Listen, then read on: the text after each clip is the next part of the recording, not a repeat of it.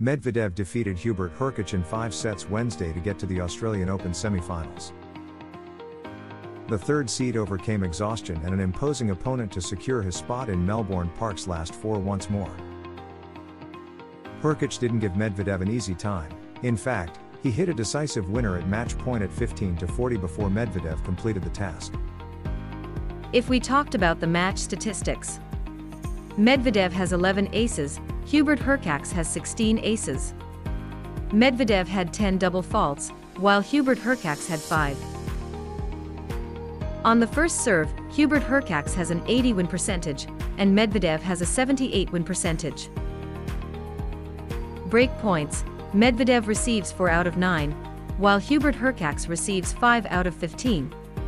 Hubert Hurkacz has max games won in a row 3, and Medvedev has also 3. Hubert Hurkacz has 9 maximum points in a row, while Medvedev has 8.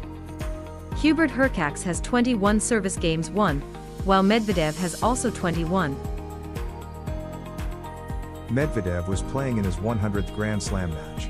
He has previously been to the finals twice, losing to Novak Djokovic in 2021 and Rafael Nadal in 2022. Please give this video a like, share it, and subscribe to our channel.